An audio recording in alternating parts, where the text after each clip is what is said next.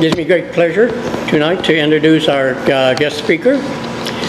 Uh, Mr. Hamer is coming to us from Columbia, from the Confederate Relic Room and War Museum in, in Columbia. So uh, his this topic tonight is Fort Motte. So it gives me great pleasure to introduce to you An Evening with Fritz Hamer.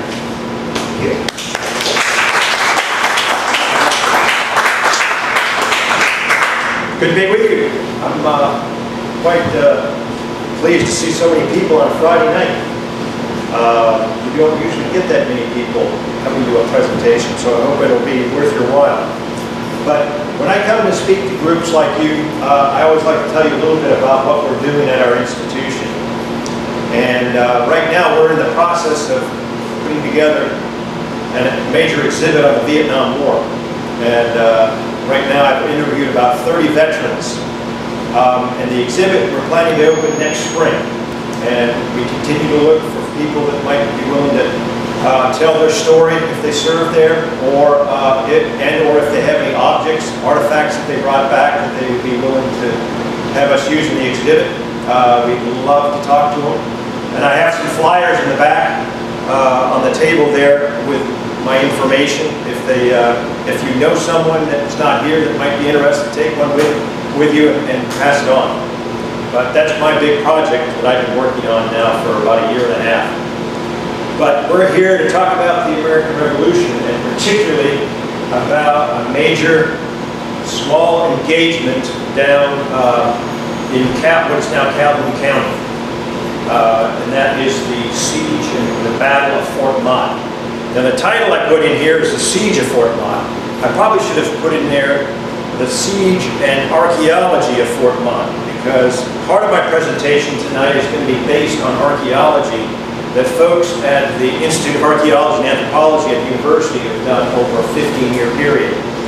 So I'm going to begin by looking at the history of the, of the occupation of South Carolina, how it led to Fort Motte, and then the battle, the siege and battle, followed by the archaeology that helps to verify some of the history. And as you'll see, the written history on the battle is very meager. So the archaeology has helped tell more of that story. And hopefully they'll be able to do more archaeology because all they've done is a sample. So, this amazing, this painting, you may have heard of Mort Kunstler. Uh, he's usually known for his paintings of Civil War subjects, like Stonewall Jackson, Robert E. Lee. I think he's even done a few on Wade Hampton. But he did this one of uh, the siege of Fort Motte. And uh, talking to archaeologists and historians who know this battle pretty well, and read the, he did a remarkable job of putting this together because it's pretty darn accurate. And as you'll see as we go along and look at the archaeology, a lot of it coincides with what Mort Kunstler did when he put this together. So this is where the site is today, in Calhoun County, just above the, uh, the uh, Congaree River. It was an important location between Charleston and Camden uh, during the Revolutionary era. And so as we go along, you'll get a better sense. It's now just a field. As you can see here in 1909, the Daughters of the American Revolution installed a plaque, or a stone monument that still stands there today. And it's not too far from where the actual uh, Fort Motte is located. So, to, to begin with, we have to start with the Revolution and what was the situation in South Carolina in 1780. You will recall that uh, South Carolina had repelled the British at the uh, Battle of Sullivan's Island in June of 1776. And for the next four years, things were fairly calm. Uh, until about 1779, when the British occupied Savannah, they sent up an expedition that made an effort to take Charleston. But the British did not have an adequate uh, force or supplies, and so they had to pull back to Savannah. The, the Americans, with French assistance, tried to lay siege to Savannah, and they were finally repelled in uh, 1778. And so, 1779, what's going on here in, in, in the colonies? Well, the British were defeated up at Saratoga Springs in New York in 1777, and the American forces that were in Pennsylvania were sort of facing off the British. The British had failed to take major parts of uh, the northern colonies. And so in 1779, the British developed a new southern strategy. And that was, they believed, based on intelligence they had, that if they sent a major force of British troops into the Carolinas and Georgia, they'd be able to attract all of these latent loyalists that were waiting for them to come out of the woodwork. And so, uh, in early 1780, the British landed a large force of about 5,000 troops south of Charleston, near in the Beaufort area, and they marched overland and laid siege to Charleston. And that was a six that was a six-week siege from early April until May the 10th, when the Americans were forced to surrender. And that's one of the biggest defeats in American military history. Over 5,000 troops were surrendered to the British. And Clinton, General Clinton and his assistant, Lord Cornwallis, thought that they were on the verge of succeeding and taking over the entire southern region with support that they sought within the backcountry. So here is Lord Cornwallis. Henry Clinton leaves command of South Carolina him, and, he, and, and uh, Clinton heads back to New York. And Cornwallis, after he solidifies his uh, situation in Charleston, makes a proclamation and tells the entire area, uh, the colony of South Carolina, you must declare loyalty to the king, or else essentially you'll be considered rebels and therefore your property and even your freedom will be ended. This proved to be a, a big uh, mistake for the British and helped in a, in a way rally the American cause because in the summer of 1780 it looked pretty grim for the Patriot cause. The British moved in from Charleston and set up various posts throughout the state. Uh, Camden was the biggest center in the interior and then to maintain communications and supplies to Camden, they built little posts from Charleston on up. And Fort Motte was one of those. Maybe some of you have also heard of Fort Watson, which is in Clarendon County. Uh, it was built on top of an Indian mound, and uh, it's now a state park. If you haven't been there, it's worth taking a look at. So the British are building these posts, and then they can extend it from Camden to uh, Fridays Ferry, uh, where Columbia is today. They built a, established there.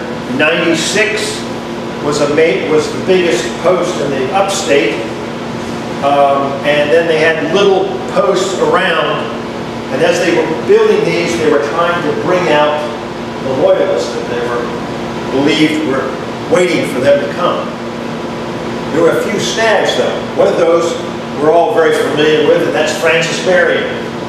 Now, Francis Marion had been the commander of the 2nd South Carolina Line troops. But they were captured when Charleston fell in May 1780. However, Francis Marion uh, had escaped before the fall of Charleston, and he headed up into uh, the upstate trying to rally any people he could. And then there was an event at the Waxhaws. Anybody who knows the Revolutionary War history probably heard the Battle of Waxhaws, or the massacre at the Waxhaws.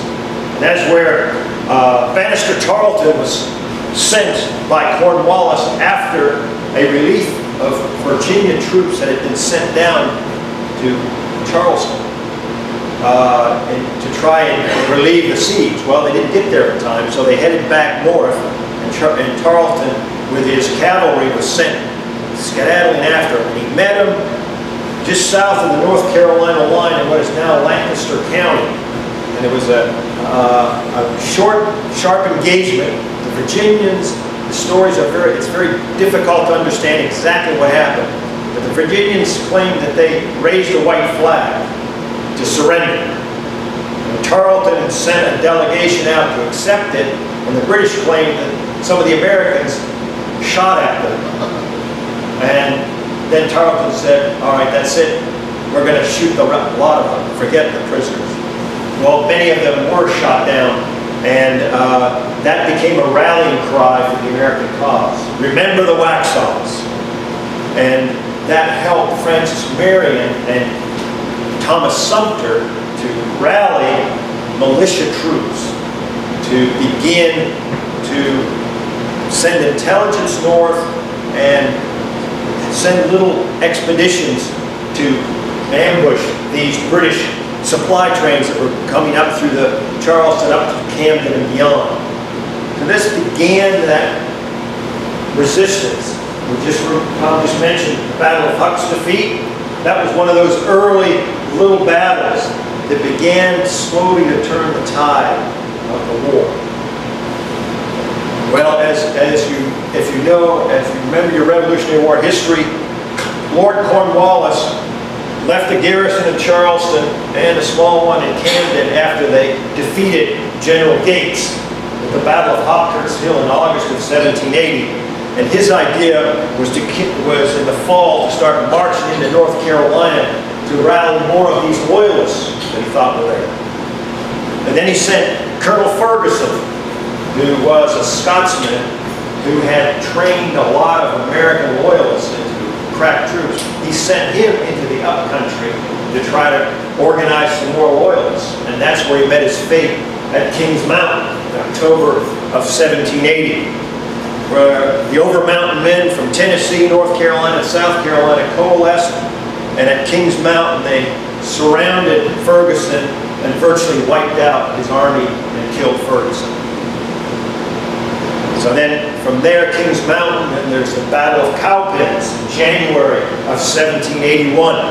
Daniel Morgan faces down Banastre Tarleton and soundly defeats him. That was up in, uh, was that in uh, Spartanburg or Cherokee County? I can't remember that. Which, but anyway, it was north of Spartanburg. Uh, that was a major victory. And Cornwallis is befuddled what to do. So what he, he continues into North Carolina with the bulk of his army. And this is when uh, Nathaniel Greene is appointed to try to rally American forces and take on Cornwallis. And the biggest battle of, of his early tenure was the Battle of Guilford Courthouse in, in North Carolina in uh, March of 1781. The British won it tactically, but they were severely wounded, uh, wounded, lost a lot of men. And Greene, while he had to leave the field, he turned around and he headed back to South Carolina. And that is where Francis Marion teams up with Light Horse Harry Lee. You know Light Horse Harry Lee? He is the uh, father of Robert E. Lee. He was uh, a crack cavalry commander and uh, I'll, I'll, get to him in a minute. Lord Rawdon, he's the commander of Camden. This is uh, Camden's Nathaniel Greene, appointed by General Washington to come south and organize the forces against the British. And there's Francis Marion. We're really not sure exactly what his visage was because we have no contemporary portraits of Francis Marion. This is based on some slight descriptions we have. He was a short, angular fellow, but he was uh, very wildly aggressive, uh, and he was a thorn in the side of the British from the moment he was able to galvanize his militia in the summer of 1780, and he brought much important intelligence to Greene, Nathaniel Greene. He relied heavily on. And there's Light Horse Harry Lee from Virginia, he is part of that contingent that is sent down uh, uh, from the north to help uh, galvanize and continue the uh, fight against the British to push them out of South Carolina. So he brings some of his regular troops, and he is allied with Francis Marion's militia. And they begin what's called the War of the Posts, which is to take these posts individually and slowly squeeze the British out, out of the upcountry. So their first engagement is Fort Watson, I mentioned to you, on this Indian mountain. And the interesting thing about that is the, the tower that the Americans built to look out over the top of the garrison and fire down into it. And after about a week, they were able to force the British to surrender. So they went from Fort Watson in April of 1781, and they go about 20 miles to the west to take on Fort Motte, which is the key, which is our main story. So here's Fort Motte. I'm sorry I didn't have a map of the whole state, but you know South Carolina relatively well. You know where Calhoun County is. It's sort of between Orangeburg County and Richland County. And it's right situated on the Congaree River. So the road that went from Charleston up to Cam, Camden went right by it. So this was a key strategic location to hold, to hold by the British. And they had come there in the fall of 1780 to take over the area. And Rebecca Motte, who was owner of this plantation, had a, a fairly substantial house that uh, she had moved to after Charleston had fallen. She, her husband had been quite wealthy, but he had passed away uh, before the, the siege. And so she owned a lot of property both in Charleston and in this area, several thousand acres. We're not sure how much. She probably owned quite a few slaves. And this was the best place for her to be away from the city because she had all the food she needed, pretty good protection. But then the British showed up. And they decided they were going to take over this house and make a stockade out of it, a little fort to protect it. And they sent Rebecca Motte off to a smaller location, uh, kind of a probably the first house in the area before they, she had built this house. So this is sort of the situation, this is kind of the situation as it stood just before Marion and, and uh, Lee show up. So what do the British have? They have about 180 soldiers. Some of them are loyalists, and others are Hessians. You know, the German mercenaries that the, the king had recruited. Uh, they manned this fort. Now, of course, they didn't all fit into there. They had, they had a camp outside. Uh, we're not sure exactly where it was, but that's where they would be generally until they were put under siege. Then they'd have to all pack into that fort. So Francis Marion and Lee show up and they begin to lay siege with the idea that uh, they're going to starve the British out. And so they, uh, they begin, they, they set up siege lines around and then they dig siege trenches trying to come up close to the fort and take it on. We'll show, I'll show exactly where they are when we get to the archaeology part. Then they, after 10 days, they hear that the British are coming out of Camden to relieve Fort Motte. That's what they think. So they say, we've got to do something quick uh, to take the fort before the British show up. Then we're, because we, we can't handle both, both ends of the thing, we'll have to evacuate. So they decide, they, they figure out what they're going to do, and this is where the story, myth, we're not sure how accurate it is, but this is the story that's come down to us. Rebecca Motte approaches Francis Marion and uh, Light Horse Harry Lee and says, look, I have these arrows. You should fire arrows into the roof of my house and we'll burn the British out. And so that's kind of surprising. This is her home. She's willing to sacrifice. And that's what some of these uh, loyalty to, to the cause some of these people had. So they begin to they fire arrows into the roof, and eventually it catches. The British, the Americans have a six-pounder piece, that's off to the side, It fires a few shells. With the fire, the British quickly realized they can't hold out, and so they surrendered. And uh, both sides managed to put out, according to the story, the fire so that there's not a whole lot of destruction in the house. Pretty remarkable. This is an 18, 19th century painting depicting Rebecca Motte giving these arrows to Marion and Lee. Again, you have to take, a lot of uh, probably license that's, we're not sure exactly how it happened, but it's an interesting depiction. And here we go back to the, the siege uh, painting of Kunstler, showing you that, well, it's probably, the only thing wrong with this painting probably is the siege lines weren't quite that close in reality. Uh, other than that, everything else seems to be accurate as far as we can tell. So, uh, the, the Americans capture the British, and an interesting story here. Francis Marion is, you know, he's a hard fighter, but once the enemy has been defeated, you know, it's, it's time to forget about all the anger and hatred and treat them as gentlemen. But uh, some of uh, the other side, some of these men were not as uh, magnanimous. And so when they found some uh, militia that were from South Carolina, Loyalist militia, they decided that they should be executed.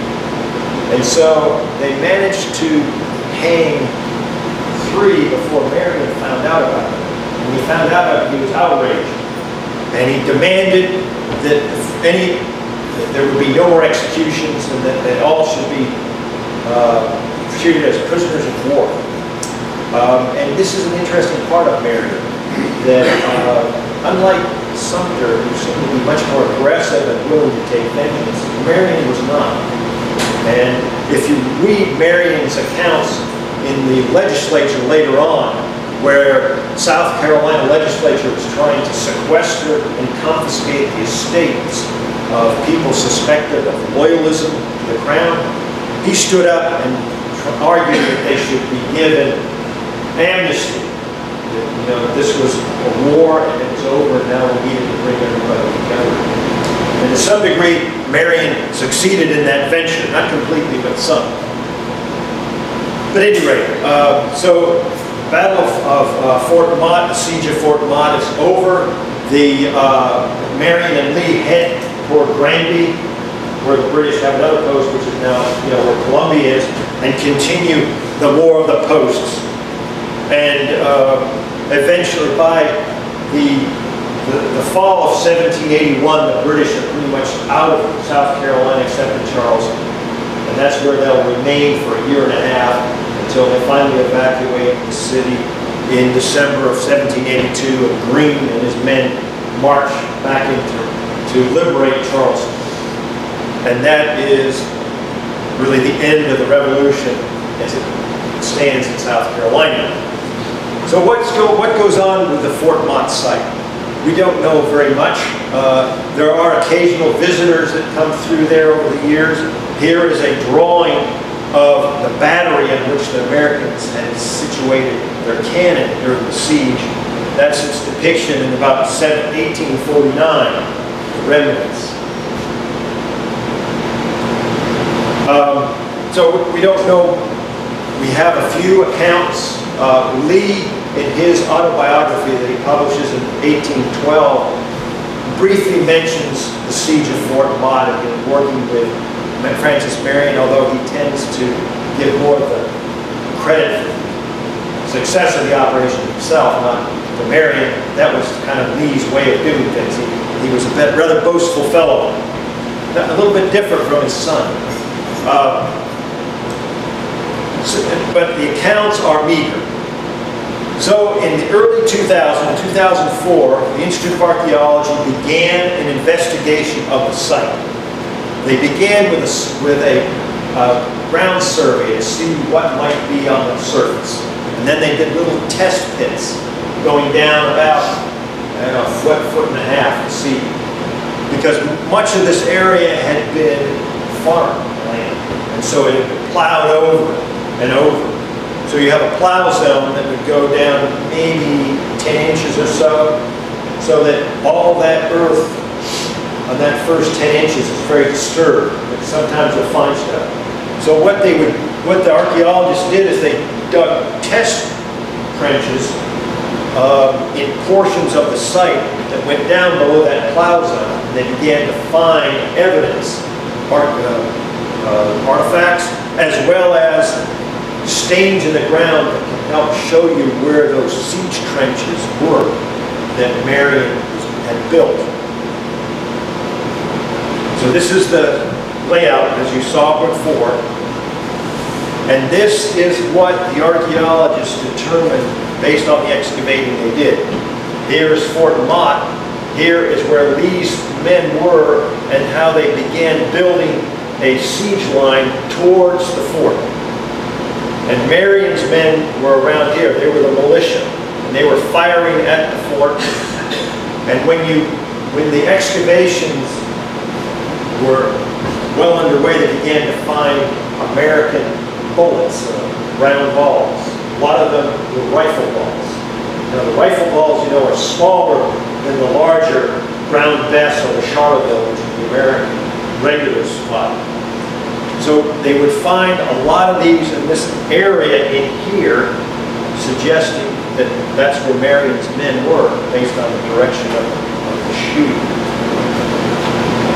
Then they find evidence of Brown Bess balls in these areas in here, British fire now.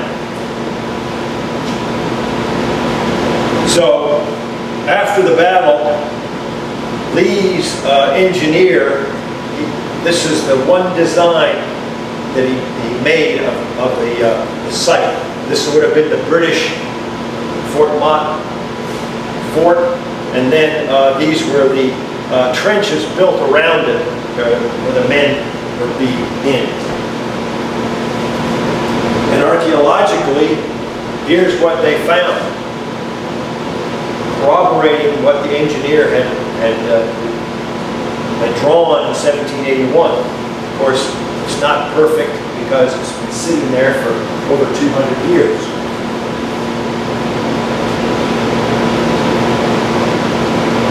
And so this is the kind of material, artifact-wise, that they're pulling out of the ground. Now you say, well, all of this is home, you know, you have uh, pots, uh, remnants of pots, buckles. Well, you've got to remember that this was a domestic home site until the British got there. And then, of course, the British, they would have probably used some of these kinds of things for liquids like rum, water, and that sort of thing. So all of this makes sense to have been there. And they all, this all dates from that period in the 18th century during which the battle and the siege were fought. And then uh, they found a lone cannonball, this six pounder, and these spikes in the area where the, the American piece of artillery was. Now why they would have left that there, we're not sure. But it probably had a lot of ordnance and some somehow it uh, fell out, maybe when they were leaving the place. And they may have, it looks like these wrought iron spikes were used to build the defensive emplacement behind which the artillery piece would have been put. And here the rifle balls, these are larger. And if you have time afterwards behind you, some of you I've told already, there are some reproductions of these. In the back, you can get a sense of the difference between the British Brown Bess and the American rifle ball. See there, 54, 55 caliber. All of them found in the trench areas where the Americans were trying to approach, take, finally take the fort. And then, I guess the most romantic, exciting thing in a way found was the iron arrow. It was found in one of the trenches, or, or in, in the actual uh, remnants of Fort Motte. Seems to corroborate the story. Uh, And there is a reproduction of that in the back there, you can take a look at to get a sense of it. That's the only one found, but you have to remember archaeology is very expensive, so you only do sample tests in small portions. It would be nice if you could excavate half of it, but you'd have to have a lot more room to be able to do that. So they only excavated probably less than 10% of the site. Uh, But in doing so, they, they got enough information to be able to reconstruct a lot. And if they can get more funds to do more archaeology, they'll probably find more. Now that the site is protected, that, that's a hope. And then you find this English half penny, 1772. So it's, for a siege, it's pretty recent and makes sense. It might have been British or the Hessians may have had it, but of course, it's possible the American would have had it uh, because in the colonial era, the, the American colonies had very little coinage. They had to rely on what the British or the Spanish had. And for pieces of eight, well, they were using that at the same time. And there's a reproduction of this in the back you can take a look at too. So the, that's kind of the history and uh, archaeology. These are Jim Legg and Steve Smith were the principal investigators of the project over its uh, decade of work that they did there. Um, And uh, the, the actual painting, the original, is, uh, was loaned to us by the Old Exchange Building. And Tony Youmans uh, is the uh, manager of the Old Exchange Building. So that's uh, the story of Fort Motte. Do you have any questions or comments? Both of these, both of these were seventy-eight. Both things what? Both of the cities. were Yes. Yeah. Yeah, they were in the spring of 1781. Were, were there any other sieges or battles in that area in seventeen eighty-one? Well, no sieges, but near, not far away was the Battle of Eutaw Springs in uh, September 1781. That was the last big engagement in South Carolina where Round and Greene faced off. And that's where, that was the final kind of end of uh, British operations because they got thoroughly bloody. The Americans lost a lot too. But that forced the British, after that, to evacuate into Charleston. And Essentially, that's where they were holed up for the rest of their occupation. Was Marion there also? Yes, he was. So he was there all through. Yes. This is not archaeology, it's more history. Have you ever heard that Fort Motte was once called Jackson's Point? No, I have not. I've heard that. I Oh. I'll have to check. Uh, where, do you know where you heard or read it? I read it, I think I read it in one of the South Carolina publications. Uh-huh. I don't know which magazine. It's quite possible. It may have originally been known, that that area was known as Jackson Point, but I have not heard that. But I'll have to check.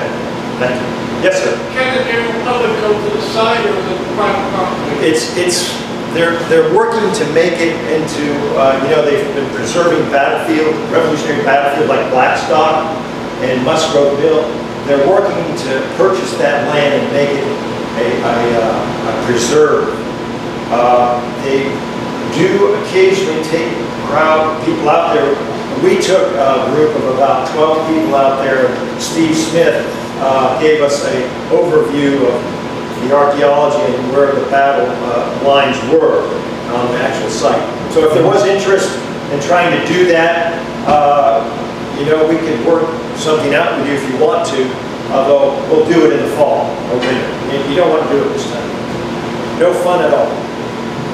You- Not only is it hot, but there are nice little snakes roaming around and who knows what. And bugs, lots of bugs.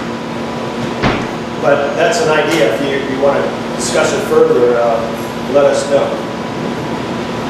Any questions or other comments? Well, thank you very much for uh, your attention, and uh, take a look at the reproductions in the back if you like, and uh, I, want to come and talk some more, I'll be here for a while. Thank you again.